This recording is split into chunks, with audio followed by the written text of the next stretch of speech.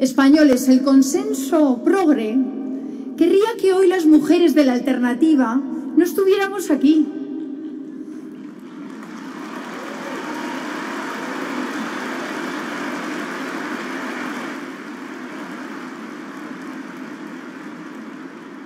Nos querrían en su manifestación, en su aquelarre, gritando contra el Estado opresor o reclamando más subvenciones para sus chiringuitos.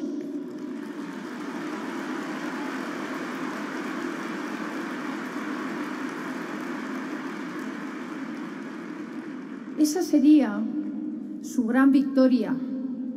Silenciar a las valientes que hacemos frente a su rodillo, como, bueno, como lo han logrado con el resto de los partidos. La izquierda pone las ideas y luego van las veletas y las blanditas y las secundan